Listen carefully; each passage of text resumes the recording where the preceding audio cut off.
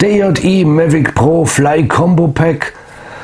Vorbestellt am 30.09. Heute, nach knapp zwei Monaten später, endlich geliefert. Nach Lieferschwierigkeiten und diversen anderen Problemen und Probleme am Zoll. Heute endlich da mit DHL Express. Und wir wollen uns mal angucken, was im Detail alles in diesem Fly Combo Pack enthalten ist. Hallo, ich bin Joe Dominguez und willkommen auf meinem Kanal.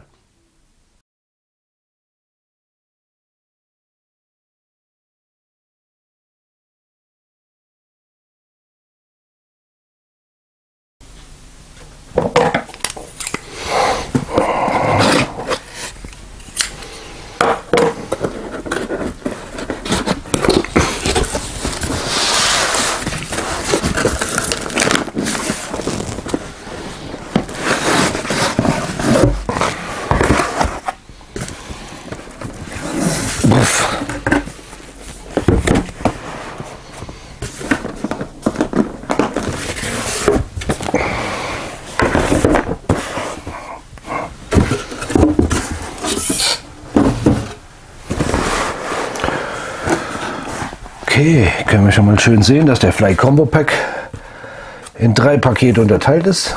Wobei das hier vermutlich der Mavic ist. Der kommt gleich dran.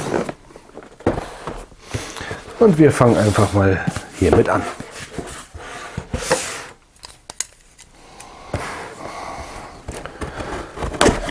Ich habe mir den Combo Pack bestellt. Ah, okay. Nicht wegen dieser Tasche hier,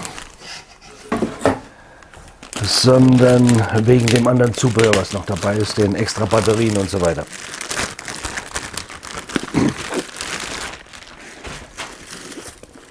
Okay, haben wir die Tasche.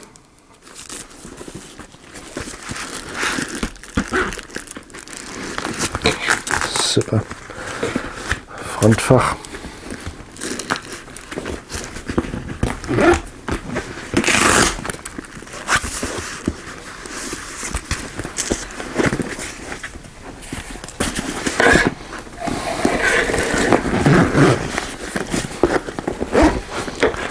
Sehr stabiles Ding. Okay. Und dann hier das Tragegurt. Hier das Innenleben in zwei Fächern. Genug Platz für den Kopter. Unglaublich, oder? ich bin echt gespannt und das Zubehör. Okay. Spanntasche. Weitere Spanntasche. Und eine Gürtelschlaufe.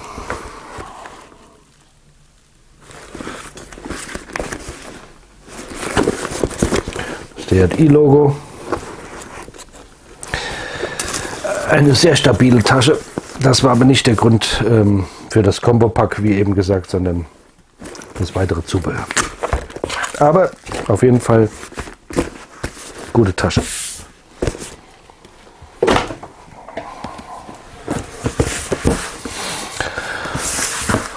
Schauen wir uns an, was im Flymore Combo Zubehör Pack dabei ist.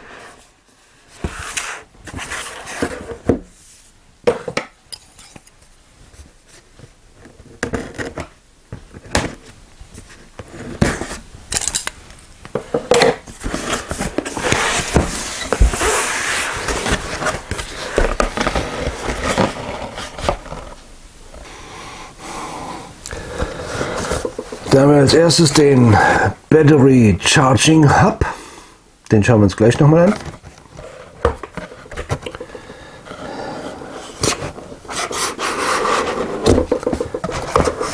Das Auto Autoladekabel.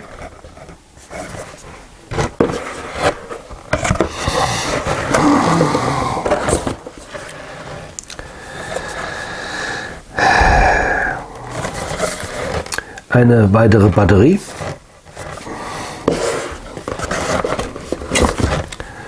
Noch eine Batterie. Und das war eigentlich der Hauptgrund für den Erwerb dieses Combo-Packs. Battery to Power Bank Adapter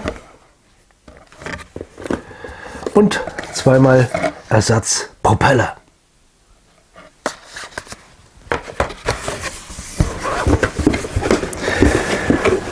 ganze Verpackung von D&E ist sehr schön gemacht.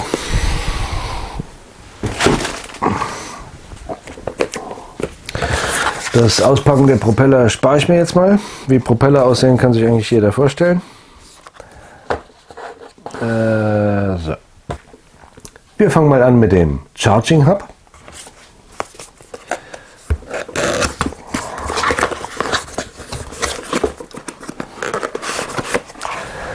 Alles sehr schick verpackt. So, ging es jetzt auf. Hm. Wo ging es jetzt auf? Hier.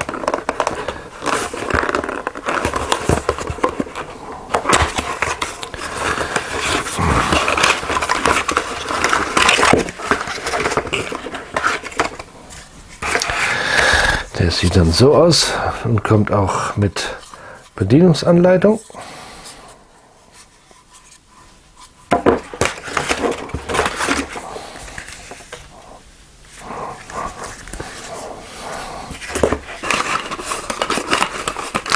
Güte, das sind ja kompliziertere Verpackungen als bei Parfümfläschchen.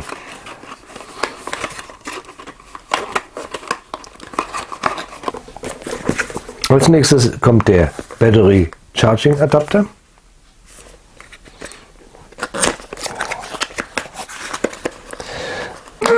Das Verpackungskonzept ist überall das gleiche.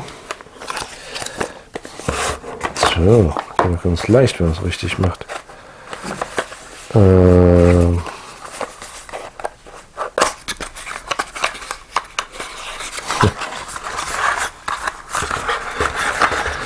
Wahrscheinlich packe ich es nur wieder zu kompliziert aus. Der sieht dann so aus mit zwei USB-Anschlüssen.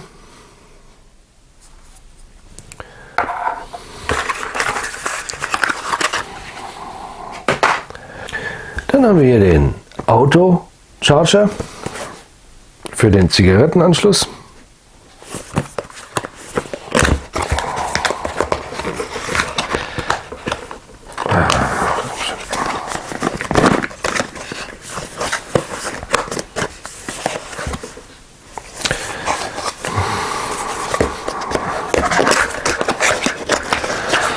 Okay, Unboxing ist manchmal gar nicht so einfach.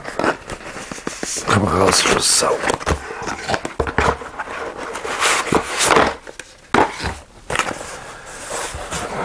Hier schön verpackt.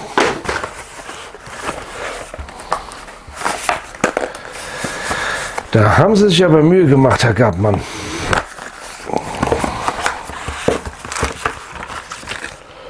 Ebenfalls mit extra Anleitung. Und so sieht er dann schließlich aus. Mit Anschluss an den Zigarettenanzünder. Das kriege ich nie wieder zusammen.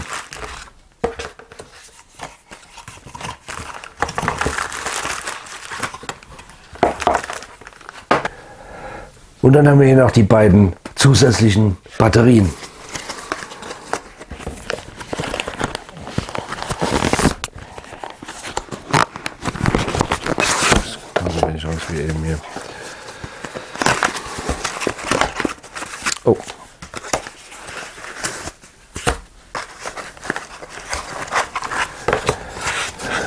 3, 1.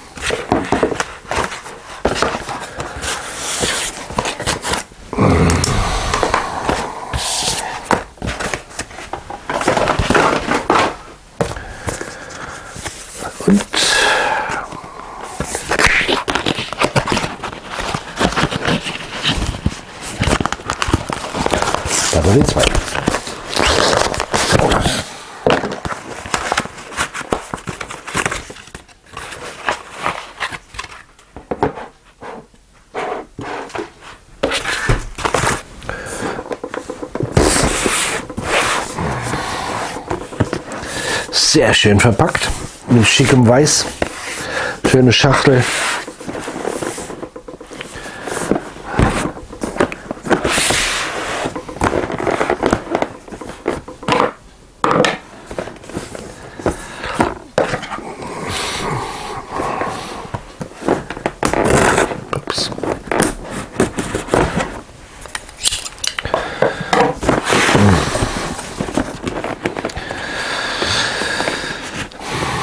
Moment.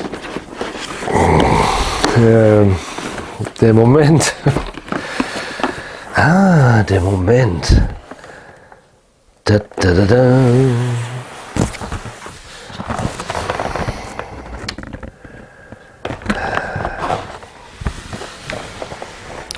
Und hier, oh, oh, geht von alleine ab, auch nicht schlecht. Die äh, Gimbal- und Kameraschutzhülle lag schon lose drin, okay. Hier hätten wir sowieso gleich abgemacht, aber hier ist es erstmal. Oh. So klein und niedlich wie der aussieht. Und wenn jeder sagt, wie leicht er ist, wenn man erstmal in der Hand hat, merkt man doch das entsprechende Gewicht und dass etwas Wertiges vorliegt. Äh, kein billiges Plastik oder sowas. Also, dass man schon was bekommt für sein Geld. Da ist schon ein bisschen Gewicht hinten dran.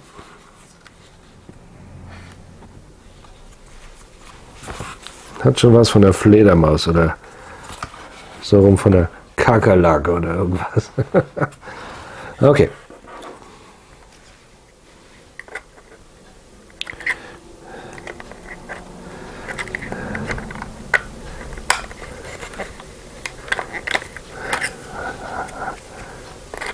Ja, ist eigentlich logisch. Zack. So rum sitzt es wieder drauf.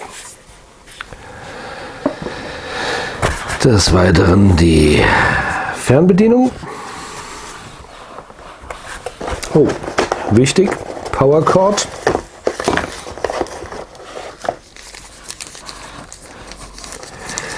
Ebenfalls ganz wichtig, das Anschlusskabel für Android-Geräte.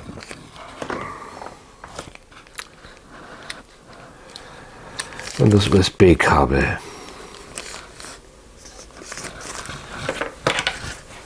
Und zu guter Letzt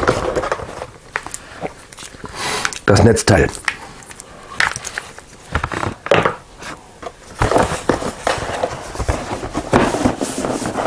Verpackungstechnisch sehr schick gemacht.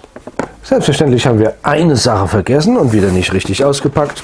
Wir machen das nochmal auf. Nehmen den ganzen Schutz raus und hier ein Säckchen und hier ein weiteres Säckchen, in dem sich nämlich die Ersatzpropeller befinden. Einmal. Da, da, da, da. Ups, zwei. Das sind zwei, okay. Ja, genau. Wir hm, brauchen ja vier für einen Quadrocopter, glaube ich. Immer noch. Also, die arbeiten ja viel dran, aber ich meine, man braucht immer noch vier Propeller. Und hier sind dann ebenfalls nochmal Propeller enthalten. Im Originalset. Okay, ohne den Fly-Combo. Mit seinen extra Propellern. Okay. So viel auf die Schnelle erstmal zum Unboxing. Wir wollen das Ganze mal auf dem Tisch drapieren und uns dann alles nochmal im Detail anschauen. Also das hier nochmal ganz kurz im Überblick ist das Gesamtpaket des Fly Combo Packs. Wollen wir mal die Propeller montieren. Wir haben einmal ohne weißen Ring und einmal mit weißem Ring. Genauso haben wir hier weißer Ring, kein weißer Ring und so müssen die auch draufgesetzt werden. Auf der Unterseite können wir wunderbar sehen, da sind diese Noppen oder so kleine Füßchen drin. Die müssen in eben die entsprechenden Aussparungen, die wir hier haben, wie man das da zwischen den Ringen sehen kann, genau. Und dann werden die leicht runtergedrückt, zur Seite geschoben und sind damit arretiert. Wir probieren das mal aus. Äh, wir setzen die hier konform zu den Nupsis drauf. Zack. So. Ein bisschen runterdrücken, ein bisschen drehen und zack, ist es nicht fest. Gut, das war nichts. Nochmal. Also runterdrücken. Hm, wo sind wir hier? Zack. Dann gegen den Uhrzeigersinn, mit dem Uhrzeigersinn. Wie rum geht's jetzt? So, so hält's. Mhm. Okay, ich bin gespannt, wie sich das in der Luft verhält. Wenn ihr dann mal hochdreht, das Ding auch drauf, verdreht und zack, fest. So sollte das eigentlich sein. Wir haben dann hier im Lieferumfang bereits zwei Ersatzpropeller mit drin.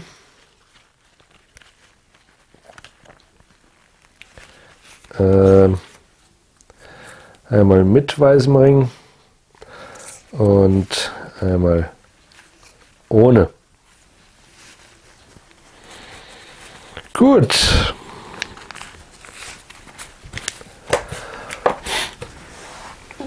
Gehen wir ein Stückchen zurück. Okay, jetzt klappen wir den Vogel mal aus. Oh, hier oben haben wir noch diesen Warnhinweis, dass man das Gerät ausschalten soll, wenn man es nicht benutzt. Den machen wir mal ab. Der bedeckt da den Batterieknopf. Die Batterie an sich, äh, warte mal, wir klappen den erstmal aus. Also einmal raus damit, mit den Füßen und dann die Unterseite einfach hochgeklappt. Zack. So. Hier vorne haben wir den, den Schutz von der, vom Gimbal und der Kamera. Das können wir einmal abnehmen. Und dann nehmen wir auch noch die Hülle ab, wenn sich das Ding ähm, justiert und arretiert und so weiter, dass da nichts passiert. Ich habe in manchen ähm, Rezensionen gelesen, es könnte dazu Überhitzungsproblemen kommen. Ist egal. Alles runter, alles gut. So, einmal hinstellen. Und das ist auch schon, uh, es quietscht. Unser Gefährt. Okay, jetzt klappen wir den Kopter erstmal wieder zusammen und werfen mal einen Blick auf die Fernbedienung. Also, aber das grundsätzliche Prinzip hier ist schon klar. Den runter und die drüber und zack ist das Ding zusammengeklappt und wieder klein und verstaubar. Wunderbar, kleines, süßes Gerät. Bevor es zur Fernbedienung geht, wollen wir einen ganz kurzen Blick auf den Ladehub werfen. Der sieht so aus. Die Stromversorgung wird von unten angeschlossen und zwar das Netzteil mit diesem Ende, was dann eben hier unten entsprechend eingestöpselt wird an der Unterseite. So.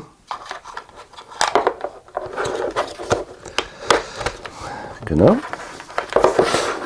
Jetzt haben wir vier Ports zur Verfügung. Bei liegen zunächst mal drei Batterien, die wir dann einzeln anstecken können. Einmal, zweimal und dreimal. Okay, das sieht dann so aus.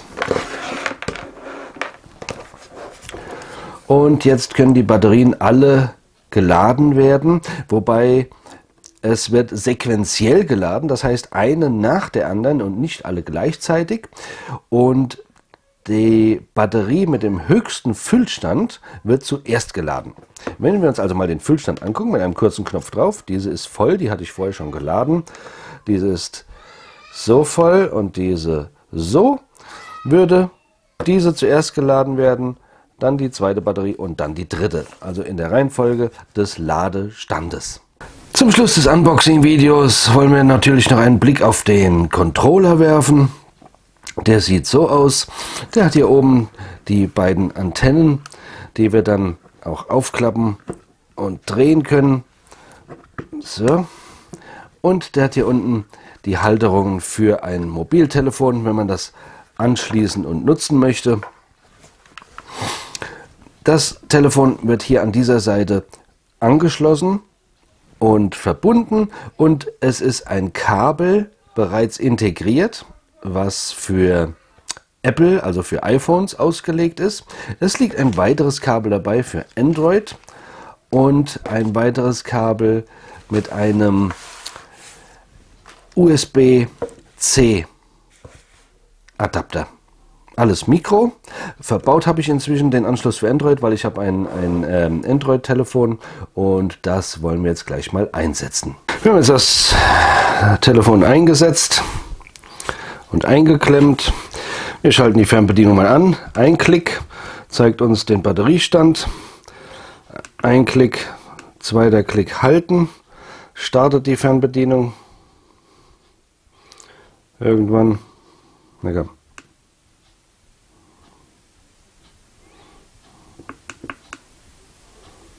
Aha, Connecting. Das gleiche machen wir mal mit unserem Copter. Ein Klick zeigt den Batteriestand. Ein Klick starten. Lässt das Ding aufleben und initialisieren. Okay. Äh, hier sind wir irgendwie immer noch nicht weiter. Connecting. Okay. Er kann mal wieder ein Stück weg. Ups. HTI, das Handy meldet sich schon. Ups. Das ähm,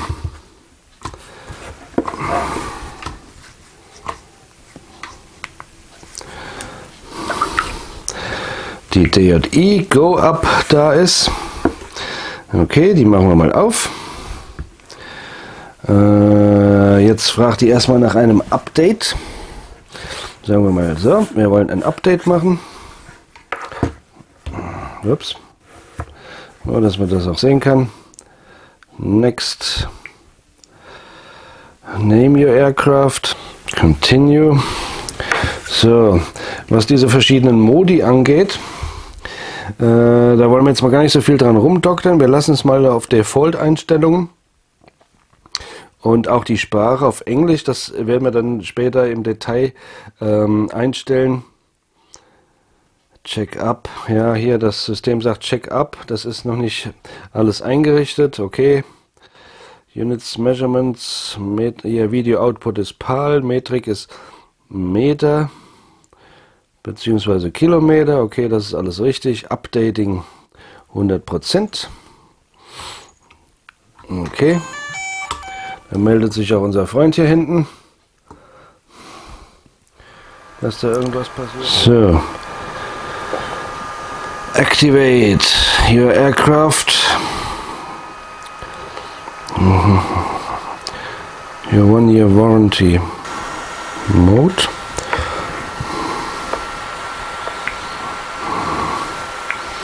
Das lassen wir alles mal in Standardeinstellungen. Beginner Mode, jawohl. Continue. Sign in or register. So. Und an der Stelle müssen wir es dann erstmal registrieren. Okay, das ist aber dann schon der nächste Schritt. Die ähm, Fernbedienung sagt, dass wir hier im Beginner Mode sind, gibt einen Haufen Informationen und an der Stelle machen wir dann weiter im nächsten Video, aber fürs Unboxing-Video muss es das erstmal tun. Es ist alles dabei, funktioniert alles und wir freuen uns drauf, oder ich freue mich drauf, mit dem Ding endlich in die Luft zu kommen. Das war's mit dem Unboxing-Video und den ersten Eindrücken vom DJI Mavic Fly More Combo Pack. Ähm, Hinterlasst einen Kommentar, wie ihr mit eurem Flieger zufrieden seid und wie ihr zurechtkommt und abonniert den Kanal. Und wir sehen uns beim nächsten Mal wieder, wenn es heißt, wohin fliegen wir heute und sehen uns mal mehr Details zu dieser ganzen Geschichte hier an. Ich bin Joe Dominguez, vielen Dank fürs Zuschauen, bis dann. Und dann haben wir noch die zwei Batterien, die zusätzlichen.